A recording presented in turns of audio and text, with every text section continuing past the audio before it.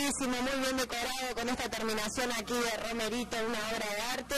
Estoy deleitada ante esto que tengo ante mis ojos. Hola Julián Solari, ¿cómo estás? ¿Cómo estás? ¿Todo bien? Buenas noches, bienvenidos.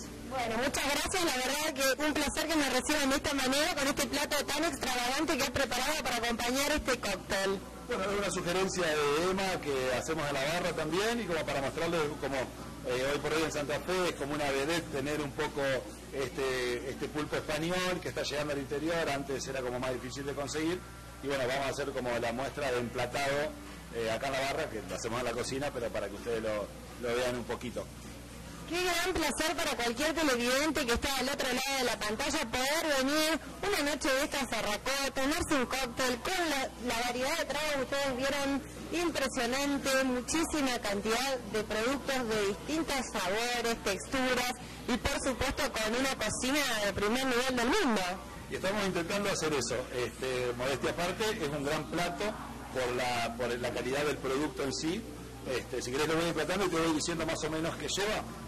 Sí, por favor, porque yo quiero saber lo que voy a comer, tengo que estar informada. Bueno, esto es una lioli, es una lactonesa de ajo, de ajo asado, para que sea más suave y la ponemos como fondo del plato.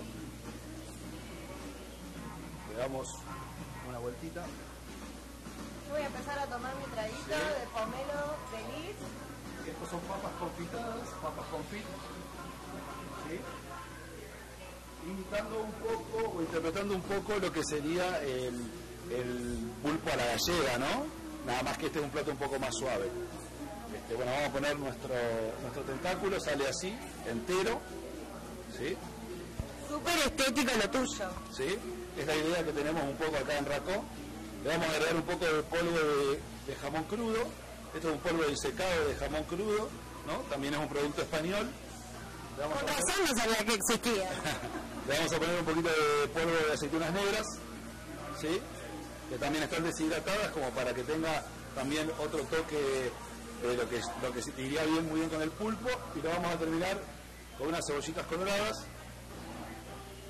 un poquito de eneldo,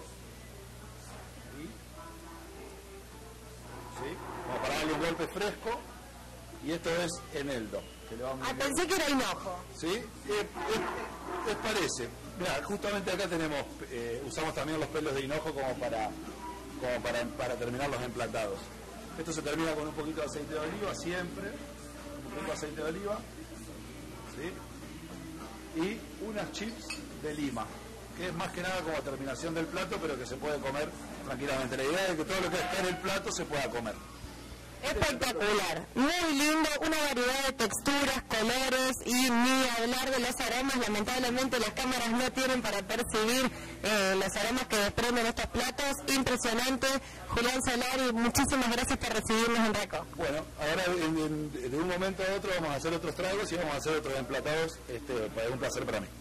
Por supuesto, y para todos los que están del otro lado, ya saben que aquí en Ituzaingó y Berrego la mejor esquina, la mejor opción y sobre todo la mejor calidad de atención.